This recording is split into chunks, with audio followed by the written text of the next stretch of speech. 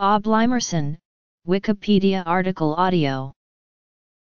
Oblimersen is an antisense oligodeoxyribonucleotide being studied as a possible treatment for several types of cancer, including chronic lymphocytic leukemia, B-cell lymphoma, and breast cancer.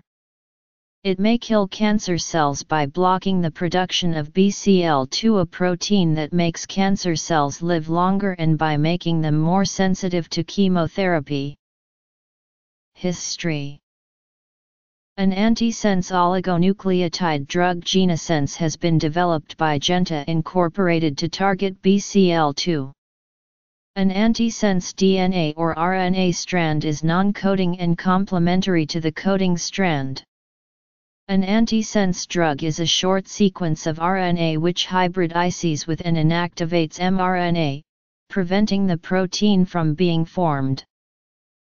It was shown that the proliferation of human lymphoma cells translocation could be inhibited by antisense RNA targeted at the start codon region of BCL2 mRNA.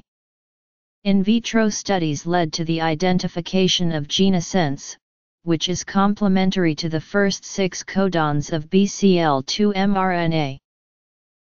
These have shown successful results in phase I-2 trials for lymphoma, and a large phase 3 trial was launched in 2004. By the first quarter 2010, Genasense had not received FDA approval due to disappointing results in a melanoma trial.